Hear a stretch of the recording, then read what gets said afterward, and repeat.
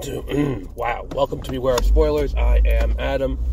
Um, I think I'm gonna do two at once today because I feel like putting everything into one. Um, doing two separate episodes for these two movies feels kind of like a waste, only because they're both really good and there's not too too much to dissect about each. Um, because I would say one of them is a near perfect movie, um, and that's a rarity for me. Usually, I can find fault in just about anything, but I, I do think that uh, The Power of the Dog is a near perfect movie. And the two movies we're going to talk about today are The Power of the Dog and um, the and Mixtape, both of which came out recently on the Netflixes, and we're going to talk about both of those. Um, but first a quick note um, if you go on um, Amazon, uh, on the Amazon or the Kindle store or anything like that, um, my book Swan Song is available for free. Completely for free. No strings attached. You add it to your library. You get to keep it forever. Completely for free. Um, and that will be all this week, Monday to Friday, completely for free. It will be on there. Um, so that'll be Monday, December 6th through uh, Friday, December 11th. Uh, completely 100% for free um, as per the promotion that I set up. Um, so that will be available on there. Um, if you can go out and get the book and then give it a five star rating, that would help a lot because proceeds from the book, um, all the books, um, will be um, going to support the show. And then next week, Duet has the same deal. And then the week after, The Muses has the same deal. Um, and uh, and then after that, if you want to pick up Echo Alpha, um, that would be uh, two ninety nine. Only thing just came out, and I don't want to uh, shit on the early adopters who pre-ordered Echo Alpha. Um, so that won't be free until you know for a while. Um, but if you want to get um, Swan Song, which lead, which is the first in the trilogy that leads into Echo Alpha, um, it is completely for free starting today um, until Friday. So let's discuss. Um, let's start with uh, mixtape not that mixtape is the worst of the two. It's just mixtape is more mundane and is less likely to be on most people's radar. Um, because the power of the dog, Variety has it at the two seed for winning Best Picture.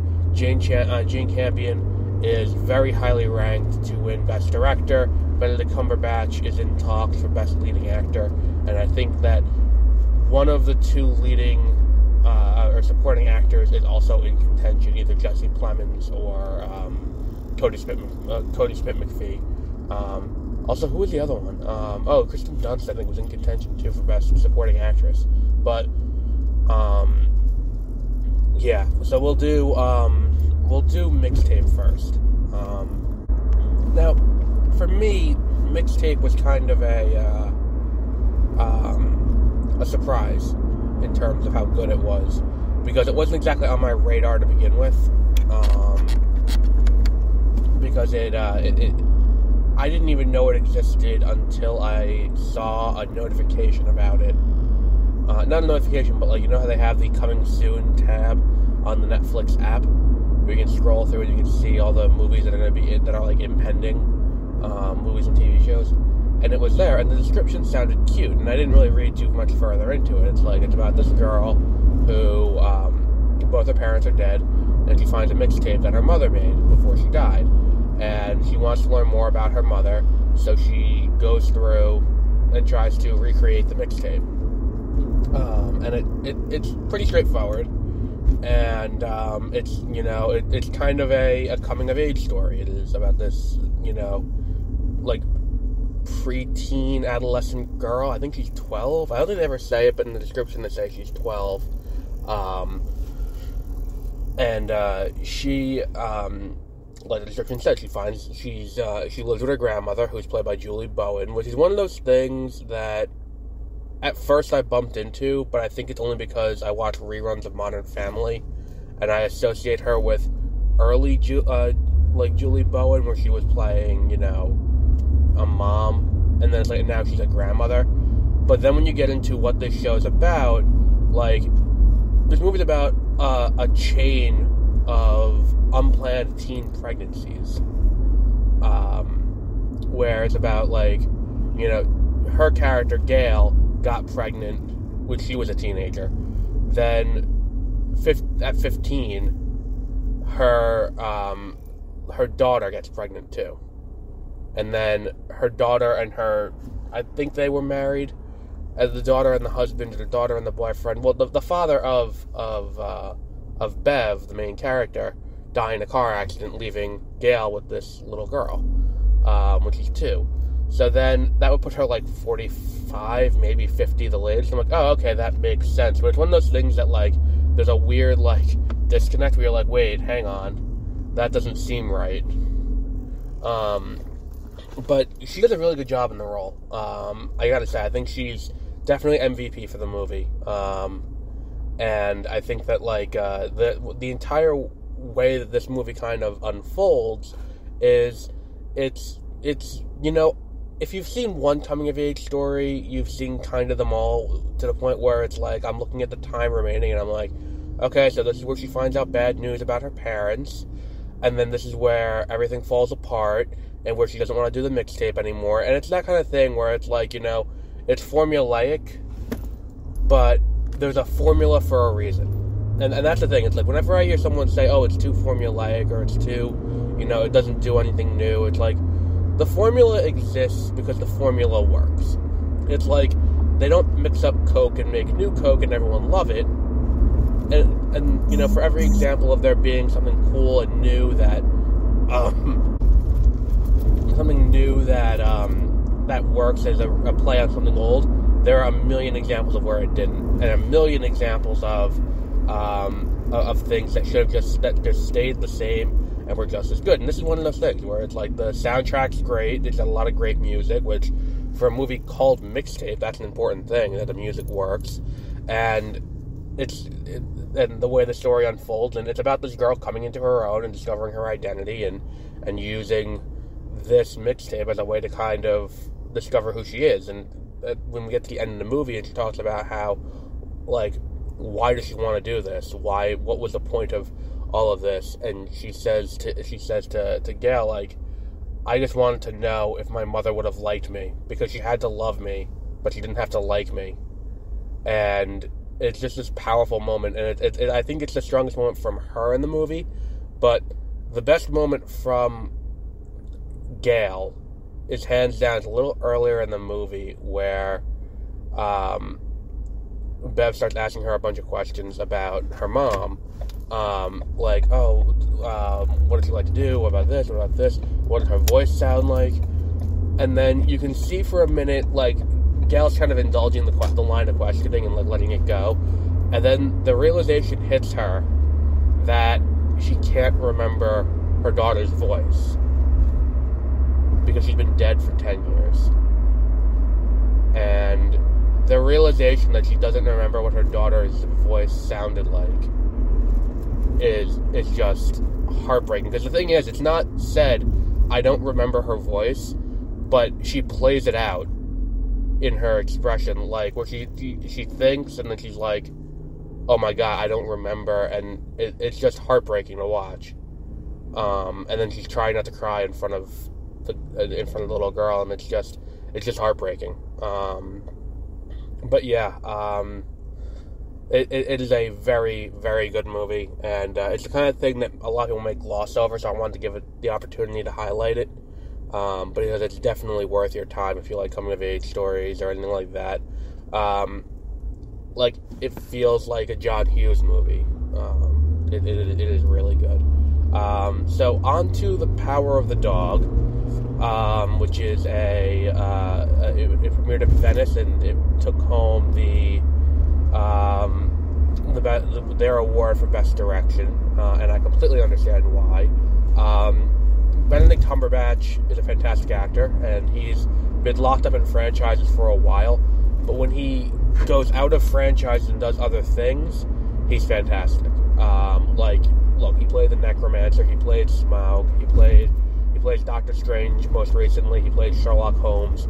But when you watch him in this movie, um, he makes a case as to why he is one of the best active directors um, in Hollywood today. And that's no small feat. That is, you know, that's an accomplishment in and of itself. Like, he is fantastic in this movie. But he is not the person who stood out to me the most. The person who stood out to me the most is Jesse Plemons, who was having a fantastic two years, proving himself to be one of the most versatile actors I've seen in a long time. Um, because we see him here. This isn't even the first time I've talked about him this year being in a new movie because he was here. He was in um, Jungle Cruise, where he's playing the scenery chewing um, general for the German army during World War One, and he's just kind of just hamming it up and loving every minute of it. Uh, he played Todd in Breaking Bad and El Camino. Um, he played. He was in The Irishman. He's got this. You know, he he he's good. He's a very good actor, and I think that he's made this transition into into movies and this is another person who's going to win an Oscar one day. Um, but he's fantastic, I think that he deserves a shout out too. Kristen Dunst does a great job too, uh, playing the alcoholic uh, mother of uh, Peter. It's it's just all around great performances, and in an ensemble cast like this, the fact that everyone puts on a great performance is just a, a, a, nice little garnish on this movie because this movie would have worked if no one put on a good performance because the direction is so good. It's it's just one of those little extra things, and it's one of those things where it's like it's a treat to be able to watch someone at the height of their craft doing what they do at this level, where it's like you know seeing anyone with profound mastery at what they do, doing it at the level that they do in this movie, is a beautiful thing. Um, and that goes for anything. It's like when you watch a, a sporting event when it's two fantastic teams against each other, and both teams are doing very well. Um, it's kind, of, it's kind of like that. Um, sorry, I'm still sick, so it's a little choppy. Um, I keep pausing to cough. Um, it's a little like that, where it's it's these people who are at their at the pinnacle of their field, doing what they do so well, and, and, and it's just it's an achievement. Um, I don't think that there is another movie like hands down. This is probably going to end up being the best movie of the year, um, where it, it's about um, it, it, it's, a, it's, a, slow moving look at loss and, and, and all of that kind of you know it's a depressing movie. It's a it's, it's sullen and it's it's somber and, and it and it's slow and deliberate in pace and and that's you know that's an important thing to do uh, in a movie like this, where it's you know it's it's kind of slice of life to an extent, um, and it's like one of the most uh, like one of the the best scenes in the movie um, comes toward the end when uh, when he's delivering the lasso uh, to to the kid, and he's walking uh, slowly and pained because he is in he, he's dying. He's sick and dying because he let this open wound get infected.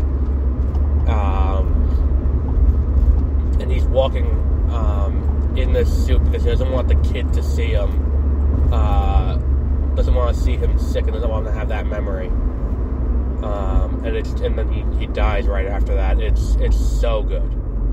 Um, and it's it's it's one of these wordless scenes, and it just delivers everything it needs to. Um, yeah, it's another thing I wanted to point out is um, how they use music in this movie. Where early in the movie, it's established that Kirsten Dunst plays the piano, uh, but we see her mental decline throughout the movie as she struggles with alcoholism. Uh, another interesting thing they do in that regard is they show. Um, what's it called? They show uh,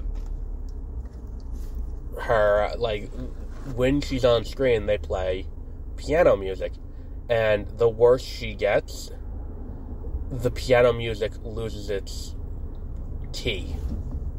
Like it, it, it, it starts being played off key and with errors and with things like that as she she loses control and as she, she falls uh, deeper and deeper into this this this sickness. Um, it, it's a it's a really cool way to to to use music to convey that, uh, and they do that very well too. Um, let's see what else there to talk about. I think that's really it for this movie because this movie is just so perfect. Like the cinematography is great. The like, and and, and it's like the production value is fantastic. It's it's just a great movie all around. Um, it is definitely worth watching. Not only if you like westerns, but if you like you know if you like movies that kind of it doesn't i'm not to say meander because meander sounds wrong. Uh, meander is more like what happened in house of gucci but like it just kind of takes its time. It's slow and deliberate and, and that works. Um, and and yeah we I, I, I, just don't have anything else to say.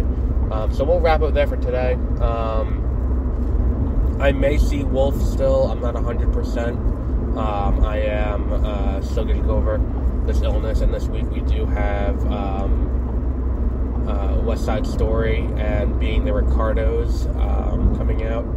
Um, so we're looking forward to that. I still haven't seen King Richard either, um, which not for any you know reason. It's just I haven't gotten around to it yet because um, I've been so busy. Uh, tonight I'm to watch War. uh, Voir which is uh, a movie about I think documentaries. I think it's about, but that's gonna be uh, that's gonna be cool. It's on Netflix. I got a notification that it's available now. I don't remember what it's about, but I put a notification for it to let me know when it was ready. Um, so I'll be watching that tonight. Um, also, Wheel of Time. Have not forgotten about that. Have been super busy. We'll get back to Wheel of Time. Don't worry. Um, please stop emailing me and saying to get back on Wheel of Time. Uh, I am well aware of the fact that I am behind on Wheel of Time. Um, and then Hawkeye, episode four and I feel like there was something else. Not that I can think off the top of my head, uh, but I'm also a little hazy right now. Um, so yeah, so we'll wrap up there for today.